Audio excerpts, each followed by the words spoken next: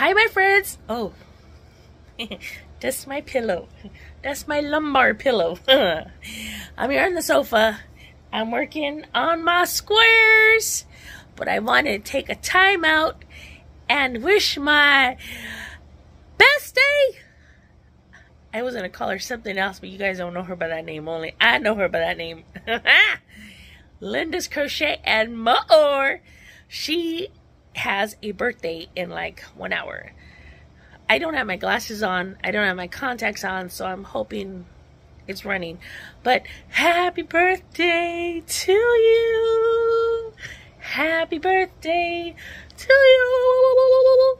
Happy birthday to my bestie. Remember, we were here on the sofa.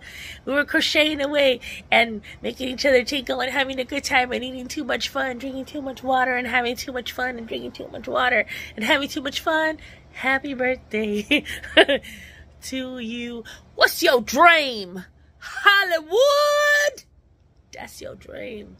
And your dream came true when you came to LA. So bestie. I love you. Uh, Amazon will be there hopefully November 7th. we all know how that goes out there in the boonies where you live. But let me share with you a little sub song.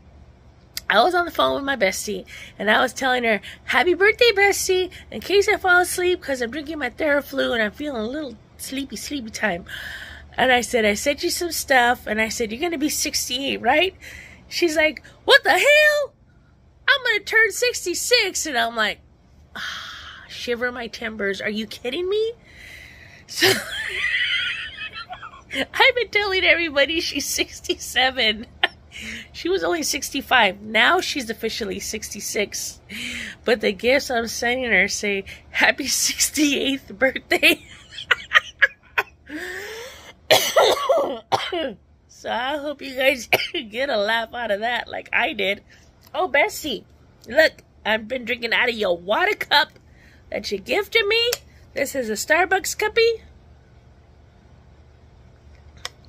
Cheers to you, my bestie. And here's some pictures from when she was here. So happy birthday. I love you. Have a safe trip driving home. And I will talk to you in a few hours. Bye.